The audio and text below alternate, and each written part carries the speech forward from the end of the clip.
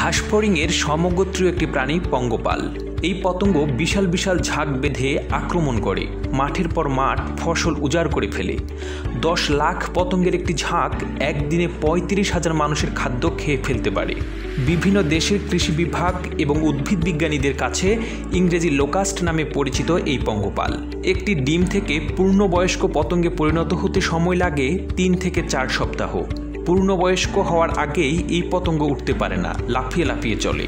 এরা স্বভাবে কিছুটা লাজুক প্রকৃতির। পূর্ণবয়স্ক একটি পতঙ্গের দৈর্ঘ্য প্রায় এক ইঞ্চি। খাবারের জন্য এরা বিপুল সংখ্যক ঝাঁকে ঝাঁকে উড়ে বেড়ায়। এক এক ঝাঁকে কয়েক লাখ থেকে এক হাজার কোটি পতঙ্গ থাকতে পারে। এক একটি ঝাঁক দিনে দুইশো কিলোমিটারেরও বেশি পথ অতিক্রম করতে পারে। এরা যাত্রাপথে খাবার উপযোগী সব ধরনের ফসল গাছপালা ধ্বংস করে দিয়ে যায়। একটি এলাকায় খাবার শেষ হয়ে গেলে সাথে সাথে দল বেঁধে অন্য স্থানে চলে যায়। সাধারণত বাতাসের গতিপথ যে দিকে থাকে, পঙ্গপাল সেদিকে অগ্রসর হয়। কাজেই তারা সব সময় নিম্নচাপ অঞ্চলের দিকেই যায়। এমন এলাকায় যেখানে বৃষ্টি হয়, অর্থাৎ শস্য উৎপাদনের জন্য আদর্শ জায়গা। একটি পূর্ণবয়স্ক পঙ্গপাল প্রতিদিন তার ওজনের সমপরিমাণ খাদ্য খেতে পারে।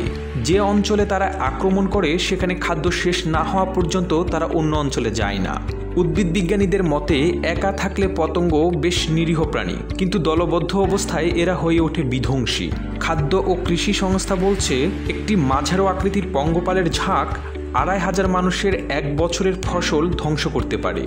এক বর্গ কিলোমিটার আকারের পঙ্গপাল একসঙ্গে যে খাবার খায়, তা দিয়ে পঁয়ত্রিশ হাজার মানুষকে এক বছর খাওয়ানো সম্ভব। একটি বড় পঙ্গপাল দিনে একশো বিশ মাইল পর্যন্ত জমির ফসল খেয়ে ফেলতে পারে। কেবল খাবারই খায় না তারা। একই সঙ্গে প্রজননের কাজটিও করে। জাতিসংঘ মনে করছে, আফ্রিকার দেশগুলোতে স্বাভাবিকের চেয়ে বেশি বৃষ্টিপাত হওয়ায় বছর খানেক ধরে পঙ্গপালের ব্যাপক বংশবিস্তার হয়। বছর দুয়েক আগে আরব উপদ্বীপের দক্ষিণাঞ্চলে আর্দ্র আবহাওয়ার কারণে পঙ্গপালের তিনটি প্রজন্মের বংশবৃদ্ধি নজরদারির মধ্যে রাখা সম্ভব হয়নি বলে জানিয়েছে জাতিসংঘ। দুই হাজার উনিশ সালের শুরুতে ইয়েমেন, সৌদি আরব ও ইরানে ঝাঁকে ঝাঁকে পঙ্গপাল যায়। সেখান থেকে বংশবৃদ্ধি করে পূর্ব আফ্রিকার দিকে যায় তারা। গত বছরের শেষ দিকে ইরিত্রিয়া, জিবুতি ও কেনিয়ায় দেখা যায় এই পোকা। জাতিসংঘ আশঙ্কা করছে জুনের মধ্যে আফ্রিকার পঙ্গপালের বিস্তার পাঁচশো গুণ বেড়ে যেতে পারে। মিশর, সুদান, সৌদি আরব, ইয়েমেন এবং ভারত পাকিস্তান সীমান্তে পঙ্গপালের প্রকোপ বৃদ্ধি পাওয়ায় পরিস্থিতিকে অত্যন্ত আশঙ্কাজনক বলে অভিহিত করেছে জাতিসংঘ। সম্প্রতি পঁচিশ বছরের মধ্যে সোমালিয়া ও ইথিওপিয়ার সবচেয়ে মারাত্মকভাবে ফসলের ক্ষতি করেছে পঙ্গপাল। সেখানকার শস্য সাভার করে বর্তমানে এই পতঙ্গ কেনিয়ায় বিস্তার লাভ করছে। এখন পর্যন্ত সত্তর বছরের মধ্যে দেশটিতে পঙ্গপালের উপদ্রব সবচেয়ে মারাত্মক পর্যায়ে পৌঁছেছে। পাকিস্তানের পর দ্বিতীয় দেশ হিসেবে জাতীয় জরুরি অবস্থা ঘোষণা করেছে সোমালিয়া। ভারতের পাঞ্জাব প্রদেশে এই পঙ্গপাল ঢুকে পড়লে আশপাশের কয়েকটি রাজ্যে সতর্কতা জারি করা হয়।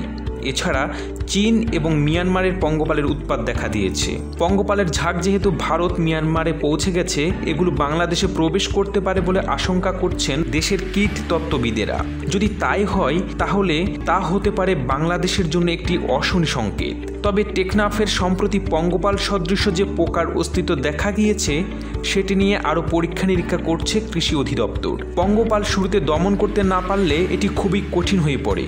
এর প্রাদুর্ভাব ঠেকাতে মূলত দুটো বিষয়কে গুরুত্ব দিচ্ছে জাতিসংঘ, মনিটরিং বা তদারকি এবং কার্যকরভাবে নিয়ন্ত্রণ। খাদ্য ও কৃষি সংস্থা দ্বারা পরিচালিত ডেজার্ট লোকাস্ট ইনফরমেশন সার্ভিস পঙ্গপালের অগ্রিম সতর্কতা জানিয়ে থাকে। তবে পরিস্থিতি নিয়ন্ত্রণ করতে মূলত তিনটি পদ্ধতির পরামর্শ দেয় খাদ্য ও কৃষি সংস্থা। প্রাথমিক অবস্থায় নিরাপত্তামূলক পোশাক পরে পায়ে হেঁটে কীটনাশক ছেটানো একটু বেশি সংক্রমণের ক্ষেত্রে গাড়িতে করে কীটনাশক ছেটানো এবং অবস্থা খুব খারাপ পর্যায়ে চলে গেলে প্লেন বা হেলিকপ্টার করে কীটনাশক ছেটানো।